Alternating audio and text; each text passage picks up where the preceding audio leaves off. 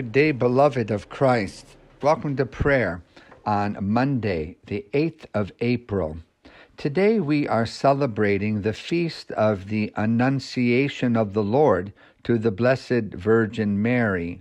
This is transferred from March 25th because it was during Holy Week. If you look at your calendar, you'll recognize that March 25th is nine months before December 25th, the feast of the birth of our Lord. Reading from For All the Saints, the story of the Annunciation is told by St. Luke, who used it to introduce some major themes in his version of the Gospel. The angel Gabriel visited Mary, greeting her as the one who was favored by God to be the mother of Jesus, the Son of the Most High. It was not Mary's virtues or merit that won her this favor. It was simply that God remembered to be gracious and bestowed such a gift of power on Mary so that the whole human race might know the still greater gift of salvation. Thus empowered, Mary was able to respond, quote, Here am I, the servant of the Lord. Let it be with me according to your word. By the grace of God which filled her, she was able to practice a graciousness of her own towards God, for it gave her a unique freedom to make God's will the very thing that she herself willed. In this gracious response to God's gift, Mary may be seen as a forerunner of Christ Himself. For her consent to God's saving purpose foreshadowed her Son's consent to the fulfillment of that purpose, even at the cost of his own life. To the Annunciation, Mary responded, Be it unto me according to your word. In a similar way, on the eve of his passion, Jesus prayed to God, Not my will, but yours be done. The Feast of the Annunciation, which celebrates the conception of Jesus, comes to full term on Good Friday, Holy Saturday, and Easter when we celebrate the birth of the new creation in his paschal victory. All of God's grace is imparted to our lives so that we might share in this one mystery, not all at once, but through the changes and chances of our daily living. The life of grace often leaves us puzzling, as the message of the angel puzzled Mary, and Scripture suggests that Mary herself did not understand the mystery she had borne until her son was raised from the dead. Her whole life was a discipline in grace for the revelation of glory. And so it may be for all who by baptism and the Eucharist bear Christ in their own lives. End quote. Let us pray. Pour your grace into our hearts, O Lord, that we who have known the incarnation of your Son, Jesus Christ, announced by an angel to the Virgin Mary, may by his cross and passion be brought to the glory of his resurrection, who lives and reigns with you in the unity of the Holy Spirit, one God, now and forever. Amen. Alleluia. The Lord is risen indeed. O come, let us worship.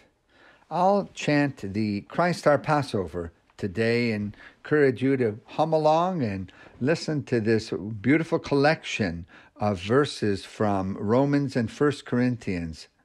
Alleluia. Christ our Passover has been sacrificed for us. Therefore, let us keep the feast, not with the old leaven, the leaven of malice and evil, but with the unleavened bread of sincerity and truth. Alleluia. Christ, being raised from the dead, will never die again. Death no longer has dominion over him. The death that he died, he died to sin once for all. But the life he lives, he lives to God. So also consider yourselves dead to sin and alive to God in Jesus Christ our Lord. Alleluia. Christ has been raised from the dead the first fruits of those who have fallen asleep. For since by a man came death, by a man has come also the resurrection of the dead. For as in Adam all die, so also in Christ shall all be made alive. Alleluia. Psalm 98. Mary, the mother of Jesus, would have known Psalm 98. In fact, it is quoted, verse 1 is quoted in Luke chapter 1, verse 51, as part of the Magnificat, Mary's song of praise. Psalm 98. Sing to the Lord a new song, for he has done marvelous things. With his right hand and his holy arm, he has won for himself the victory. The Lord has made known his victory. His righteousness has he openly shown in the sight of the nations. He remembers his mercy and faithfulness to the house of Israel, and all the ends of the earth have seen the victory of our God. Shout with joy to the Lord, all you lands. Lift up your voice, rejoice and sing. Sing to the Lord with the harp, with the harp and the voice of song with trumpets and the sound of the horn, shout with joy before the King, the Lord. Let the sea make a noise and all that is in it, the lands and those who dwell therein. Let the rivers clap their hands. Let the hills ring out with joy before the Lord when he comes to judge the earth. In righteousness shall he judge the world and the peoples with equity. Let us pray. Lord God, we see your righteous rule in all your works, and we join our voices with the song of your whole creation in praising you, in and through Jesus Christ our Savior. Amen. Together, glory to the Father, and to the Son, and to the Holy Spirit, as it was in the beginning, is now, and will be forever. Amen. Isaiah chapter 52, verses 7 through 12. Remember, this passage is spoken of old to the people of Israel, yet it is read as we remember the annunciation of the Lord to Mary because the Lord was announcing good news to her. Verse 7 to 12. How beautiful on the mountains are the feet of those who bring good news, who proclaim peace, who bring good tidings, who proclaim salvation, who say to Zion, Your God reigns. Listen, your watchmen lift up their voices, together they shout for joy. When the Lord returns to Zion, they will see it with their own eyes.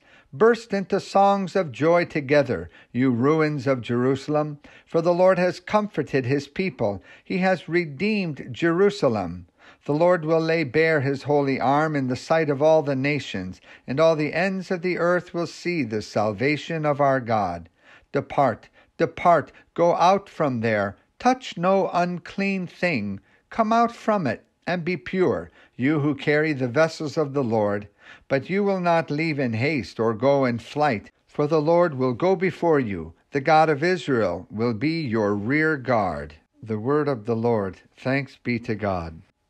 Now we move ahead into the Old Testament, Hebrews chapter 2, verses 5 to 10. This concerns the incarnation of our Lord, Jesus made like his siblings. It is not to angels that God has subjected the world to come, about which we are speaking. But there is a place where someone has testified, What is man that you are mindful of him, the Son of Man that you care for him?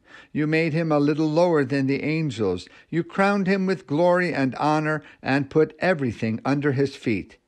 In putting everything under him, God left nothing that is not subject to him. Yet, at present, we do not see everything subject to him.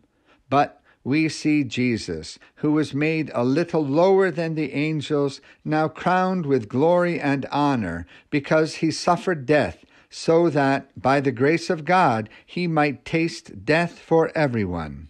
In bringing many sons and daughters to glory, it was fitting that God, for whom and through whom everything exists, should make the author of their salvation perfect through suffering. The word of the Lord. Thanks be to God. I like this little note um, concerning Jesus' perfection through suffering. This doesn't mean that Jesus was imperfect before his suffering, because that's not what we're talking about. Perfect here, made perfect, means made complete in purpose, made complete. So through his suffering, he was made the complete offering, the full offering for humanity. Here's this little note from the Life Application Bible. How was Jesus made perfect through suffering? Jesus' suffering made him a perfect leader or pioneer of our salvation. Jesus did not need to suffer for his own salvation because he was God in human form. His perfect obedience, which led him down the road of suffering, demonstrates that he was the complete sacrifice for us. Parenthetical note, I can say he was the perfect sacrifice for us, complete. Through suffering, Jesus completed the work necessary for our own salvation. Our suffering can make us more sensitive servants of God. People who have known pain are able to reach out with compassion to others who hurt. If you have suffered, ask God how your experience can be used to help others. End quote. My friends, only sadists like suffering. It is natural not to like it and certainly to avoid suffering. Yet, when we cannot avoid suffering, maybe through bodily affliction, or our love of the world breaks our hearts when we see such violence and turmoil in the world, if we cannot avoid suffering, we can endure knowing that suffering is transformative. And suffering can draw us more closely to the Lord the one who was and is the great suffering servant himself. Amen. Let us now together affirm our faith in the Hear, O Israel. Please join me. Hear, O Israel, the Lord our God, the Lord is one. Love the Lord your God with all your heart, with all your soul, with all your mind, and with all your strength. This is the first and the great commandment. The second is like it love your neighbor as yourself. There is no commandment greater than these. Now, my friends, in peace, let us pray to the Lord, saying, Lord, have mercy. For peace from on high and for our salvation, for the peace of the whole world, for the salvation of the whole world, for the welfare of the holy church of God and for the unity of all peoples, let us pray to the Lord, Lord, have mercy. For our bishops, Andrew, Riscylla, Kevin, Jenny, for all the clergy and people, especially all of our dedicated volunteers at St. Philip's, for them and their families, let us pray to the Lord, Lord, have mercy.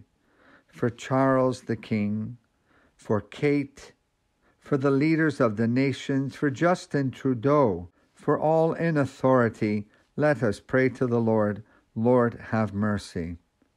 For Unionville, Markham, for every city and community, and for those who live in them by faith, let us pray to the Lord, Lord, have mercy. For good weather, for abundant harvest for all to share, let us pray to the Lord, Lord, have mercy. For those who travel by land, water, or air, for the sick and the suffering. This day, O Lord, we pray for our friends in need of your healing touch, for Richard and Ricardo and Rose, for Anthony, Keith, Wendy, Karen, Joe, Gabe, Rachel, for Zaki, for prisoners, captives, and all refugees, for their safety, health, and salvation, let us pray to the Lord. Lord, have mercy. For our deliverance from all affliction, strife, pandemic, and environmental degradation, let us pray to the Lord. Lord, have mercy. For the absolution and remission of our sins and offenses, for all who have died, especially John McNally for each, let us pray to the Lord. Lord, have mercy. Gathering our prayers as Jesus taught us, we pray, Our Father, who art in heaven, hallowed be thy name. Thy kingdom come, thy will be done on earth as it is in heaven. Give us today our daily bread, and forgive us our trespasses, as we forgive those who trespass against us.